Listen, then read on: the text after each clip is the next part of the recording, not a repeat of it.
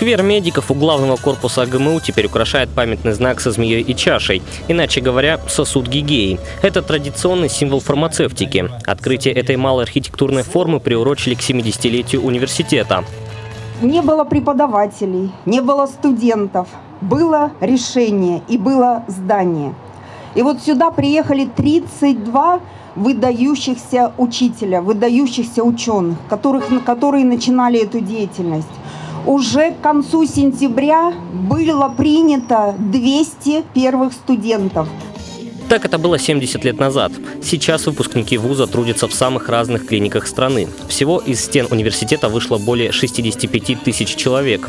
Многие прославили свое учебное заведение, а кому-то из нынешних студентов еще предстоит это сделать.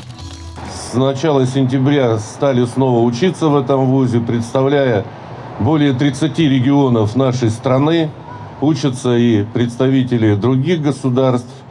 Это свидетельствует о том, что вуз развивается необходимыми современными темпами. Что касается памятного знака, проект малой архитектурной формы разрабатывали студенты политеха. Каких-то жестких ограничений не было, поэтому варианты были разные. Различные формы такие, там, связанные с тематикой в то время, когда у нас пандемия была. Врачи очень большой вклад сделали ведь в спасение людей от ковида и так далее. Такие тематики связаны с какими-то там а, микроорганизмами, вредителями, плохими вирусами.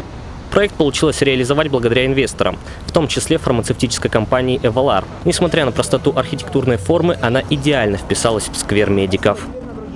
Данил Кузнецов, Дмитрий Денисов. День с толком.